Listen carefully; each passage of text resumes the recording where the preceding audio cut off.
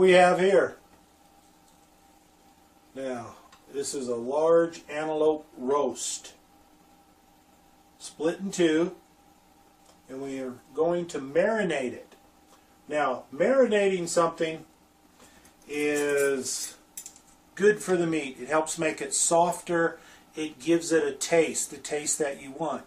The easiest thing to marinate anything in is in soda pop. Yeah, it's got high fructose corn syrup and all that stuff in there. But a sweetness. Now, I always like a sweetness in the meat. To give it a sweetness, regardless of the meat, particularly wild game, uh, you could use 7-Up, Sierra Mist, or any other brand that you like that's sweet, if that's the taste you want. Now, when it comes to liquor, or liqueur, however you want to say it, uh, there's a variety of different things. No, I don't drink all this stuff, okay?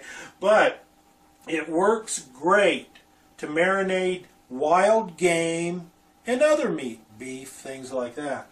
Uh, you can use wine, the wine of your choice, whatever choice you want. The wine. If you want something that's not so sweet, you can go to different brands of liquor. You notice this isn't open. I got this as a gift, and like I said, I, I, really don't drink, and uh, that'll work. Crown Royal or anything of that nature. Now we're going to get into some sweet stuff. Southern Comfort, sweet. Jack Daniels Tennessee Honey. That's really sweet stuff. You really got to cut all this, and I'll talk about that in just a second. Then you can get into brandy, various different things of brandy. There's a little bit of brandy in each one, a little bit of brandy here, a little bit of Tennessee whiskey here.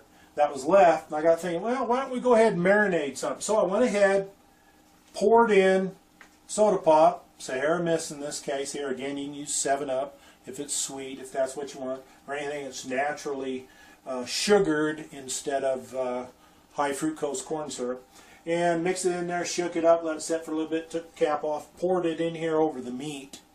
And that's going to marinate for 24 hours in the refrigerator, in a cold refrigerator, cold environment. You can't obviously let it sit out or anything like that. So that will impart the flavor that you want.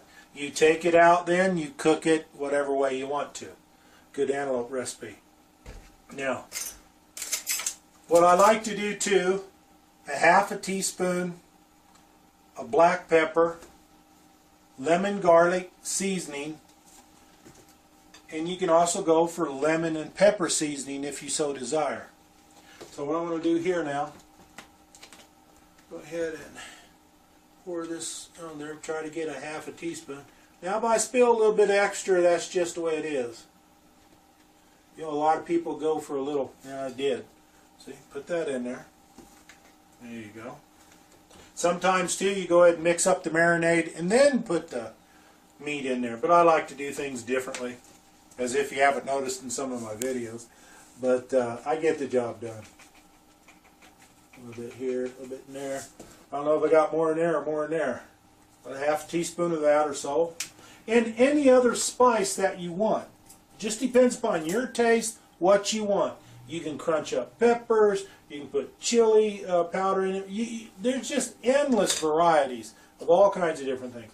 Again, what you'd want to do here, once you get all this mixed, uh, put in there, mix it up a little bit. And what that does, it seeps down through the meat and helps soften it and then imparts the flavor that you're looking for in the meat. That's very important. Again, this is antelope or pronghorn. Pronghorn antelope, shot right here in Colorado. This is a nice roast that we're going to let marinate overnight. Now, normally three or four hours is good enough. We're going to go ahead and let this marinate overnight. And again, in the refrigerator. Now, when we go to put it in the refrigerator, we cover it up, or you can get a dish that's large enough, put on top there, do the same thing. So this is what we're going to do here. Put the aluminum foil over there, tin foil, and uh, put that in the refrigerator for overnight.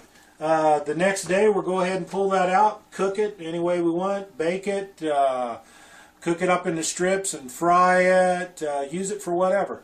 It's a good way to cook wild game or any other meat if that's what you like. Again, you can impart the sweet taste or a not so sweet taste. Just depends upon what you want. But wine is always a good thing to use.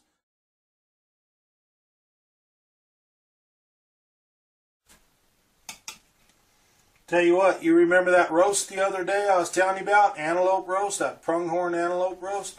About how to go ahead and marinate it, let it sit for 24 hours in the refrigerator? Tell you what, we just cooked it for an hour and a half at 350 degrees. Now, I like my meat a little well done. Some people like a little bit rare, so you adjust the cooking time. Let me get it. Very, very sweet. Very good. I like this. This is very well done.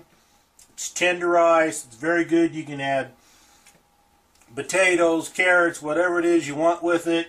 You can uh, uh, adjust the marinade to just a beer marinade if you want, or just a wine marinade or a liquor, because everything that you put in there is going to tenderize it, or just straight soda pop if you want. But what we put in there, when it comes to liquor, oh, probably about uh, about four ounces of liquor, and all the rest of it would be soda pop. So you can go ahead and mix and match, whatever, and uh, makes makes it great food. Great food. It tastes really good. I'm telling you what, great.